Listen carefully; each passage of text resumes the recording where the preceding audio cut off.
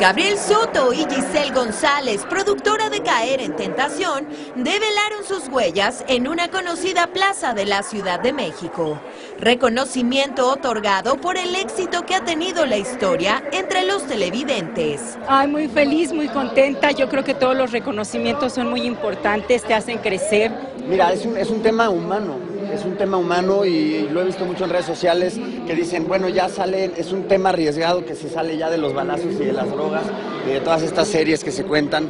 Eh, y es eh, ajá, de narcos y todo eso. Entonces, es una, una historia que se cuenta de una, hasta cierto punto, un tabú, pero de cosas que suceden en la vida real, y cosas que pasan entre parejas y unas caen en tentación, otras no caen en tentación, pero es eh, precisamente lo que se cuenta. Soto explicó por qué decidió no compartir más fotografías junto a Geraldine Bazán.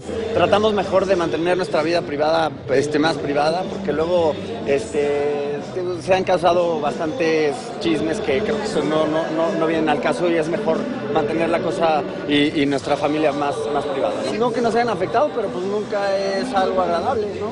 Este, creo que ya, ya el chisme ya está atrás, ya, ya, ya no vale ni siquiera la pena hablar de ello, pero sí aprendes de eso a mantenerte un poquito más...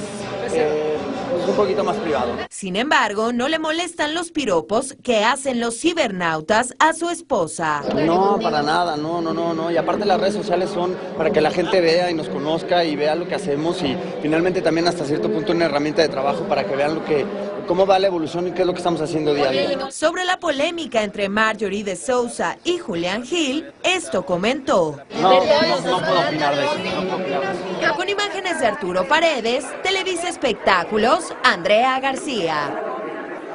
Digo, de verdad que hay también, ¿para qué le preguntas a Gabriel Soto de la otra situación que no tiene absolutamente nada que ver de Julián Gil, ¿no? También ofende un poco. ya hay que mantenerse al margen.